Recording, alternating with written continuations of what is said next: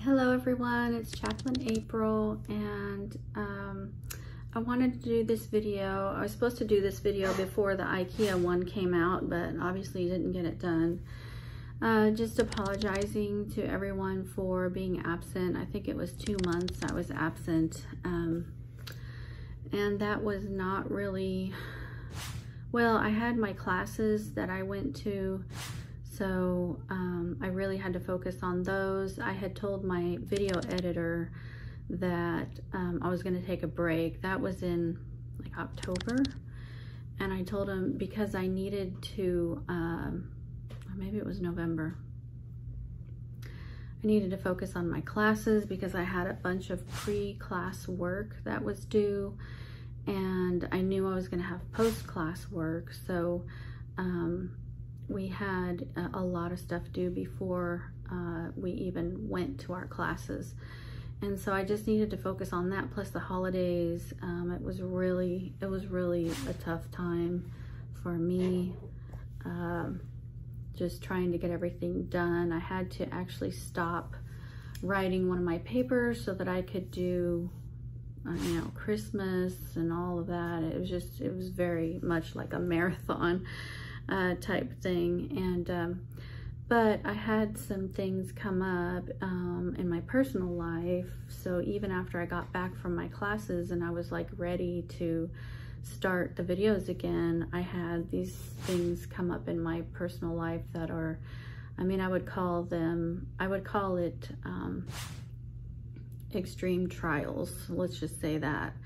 Uh, I'm just not, uh, I don't want to talk about what it is, you know, specifically, but just extreme life trial um, that I'm in right now.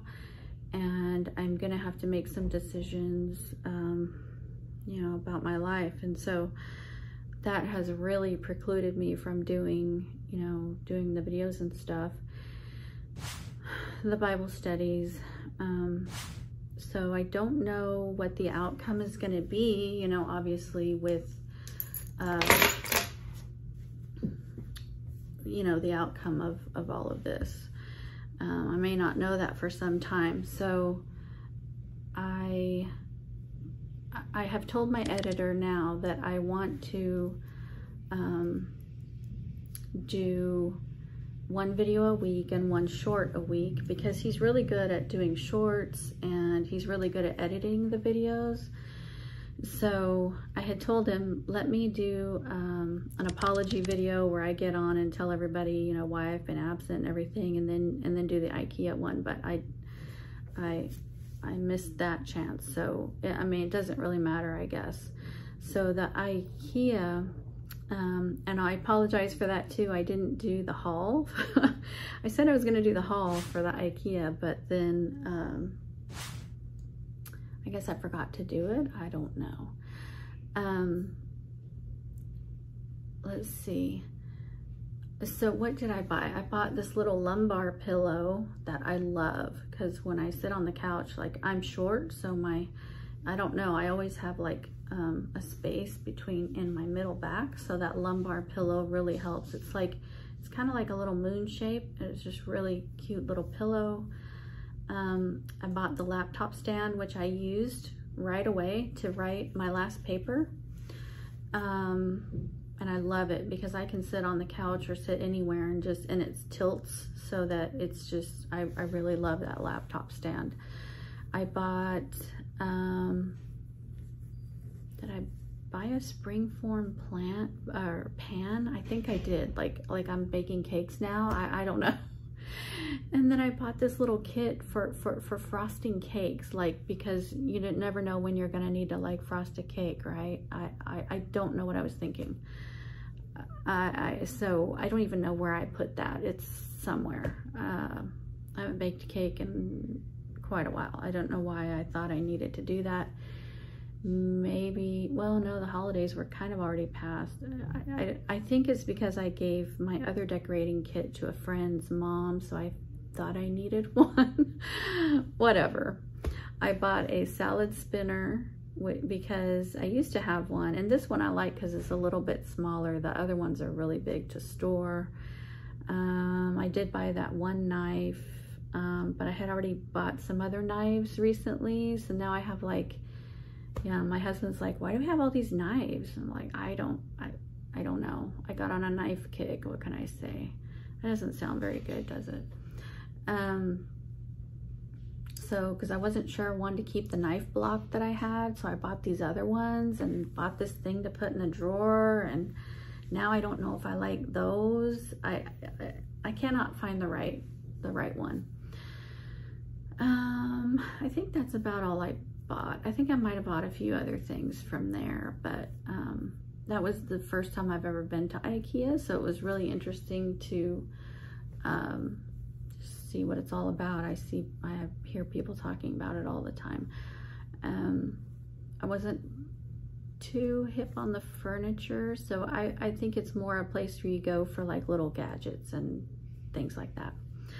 Okay, so back to why I um, am doing this video. So yes, I did go to my classes. Um, I didn't do the daily update on my classes like I did last year because it was just, it was really different. Um, our first class ended up being straight lectures from 8 a.m. to 4 p.m. It was really intense. It was, it was crazy. Um, but we only had three days of that. So our professor decided since it was around New Year's, um, so we didn't we didn't meet on that Monday. So we we were supposed to meet Tuesday, went Tuesday through Saturday, and um, then the professor said, "Well, since you guys are mostly pastors and stuff, I don't think you want to meet on Saturday. So why don't we do a Zoom?" meeting to make up for Saturday. I'll let you guys off on Saturday. Then he decided he's going to let us off on Friday. And Friday, uh, because we had these presentations, so he's going to let us off to work on the presentations. So it ended up being three days of straight lecturing, and I actually do have a video um, where I read those notes. Um, that was on mostly, it was theology, but it was also um, philosophy and politics. It was a, just kind of a mix of everything. Um, maybe I'll put add that video to this one. And then um, the second week was a very laid back professor. Um, and we didn't really have lecture. That was mostly like group projects and stuff like that. And then we would only we would only have class from like nine to noon, and then she would let us off the rest of the day to work on our final project. So we had these, we had an hour long presentation that we had to do that at the end of that class. So I didn't really have a whole lot of notes to read from there. So, but you'll see it in the video. So yes, I did the classes. I got, um, still got okay grades, even though I was going through this whole thing. Um, so what I want to do on this video is um, give you some tools for going through, you know, trials because God doesn't tell us that we won't go through trials he tells us that we he will be with us in the trials. So that's kind of the message I want to convey here. Um, even though like sometimes we can just be blindsided, this was something that would just kind of blindsided me and was totally unexpected and totally unprepared for and don't know really how to handle it. So I'm kind of still in that and asking for God's guidance, trying to, you know, pray and seek Him and figure out which way is the best to go. Um, and so, so let's see, one of the scriptures I pulled up was Deuteronomy 31 6. Let me find it here.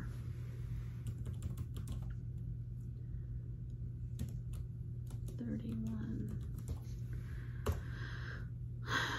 Be strong and courageous. Do not be afraid or terrified because of them, for the Lord your God goes with you. He will never leave you nor forsake you. And then Psalm, let's see, 56 3. What time I am afraid, I will trust in thee. In God I will praise his word. In God I have put my trust. I will not fear what flesh can do to me. Every day they wrest my words. All their thoughts are against me for evil. Is that what I was writing down? Oh, I went, okay. Yeah, three is just what time I am afraid I will trust in thee.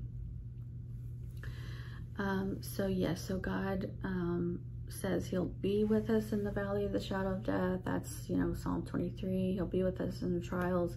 He'll be with us in the deep waters. I mean, there's so many scriptures that you can find to do that. But I also wanted to give you all some, I don't know if I'll give you some tools, but I'm in the description, I'm going to put some songs. So I'm, I'm, I'm going to call that my trials playlist. So these are things, songs that I've been listening to recently that are helping me um, because I want to have a godly perspective and godly help um, through this. So the songs that I'm going to link are, and if there's a video, I will put the video down there so you can just click on it and see them all. Um, let's see so my trials playlist right now so it can change you know i've had different songs that have helped me through different stages of my life. So i'm gonna put um, lauren daigle thank god i do. That's one of her newest songs and it was a hit that she has and the video that i have is her um, on the not the today show what's the other one Kelly Kelly and Mark show where she sings on there, but she's won Dove Awards, etc. And um, this song really speaks to me. I've seen her in person a couple times. She came to Enid when we lived there. She came to one of the churches there before she got so famous. She came and did um, and, and and did like a little concert at the at the church. And so I I saw her at that and then I also saw her, she opened up for Hillsong when Hillsong, uh, I, I, mean, I'm sure on their whole tour, but I saw it here in Oklahoma City. Um, that was one of my favorite concerts I've ever gone to is, is, is that Hillsong. It was just amazing. And she, Lauren Daigle opened for them. And um, so I've seen her, you know, saw her live then and that Hillsong um, concert was one of my one of my um, memories of feeling God's presence. Um, I think I did a video on that, but that was one of the times where I really felt strongly. Uh, it was just a peace and a presence, and um, it was it was a certain uh, CD it was a certain tour that they were doing. I can't remember the name of the tour, but all the songs, like they, they just all speak to you. And then there's this, they had had the piano like out in the audience. So there's like part of the stage goes into the audience and there's a piano at the end and they would come out, they just came out there and, and were doing the piano and everybody was singing. Um, you know, probably Amazing Grace or something like that. It was one of those times where I felt like the peace of God so amazing. And that's, I went alone because no one wants to go with me when I go to things like this. And so I remember I went to that alone. I've gone to a lot of things alone that I, um, that I'm interested in, that other people may be not interested in. Um, so that was one of those things. Okay, so then I'm gonna do Fall on Me, which is Need to Breathe and they have someone else that sings collaboration with them. So in the video, it's more like a father-daughter thing, but I'm taking it as, you know, okay, Lord, I can fall on you, so fall on me. Then I'm then we have um, Danny Gokey's Stay Strong. That's the third one I'm gonna post.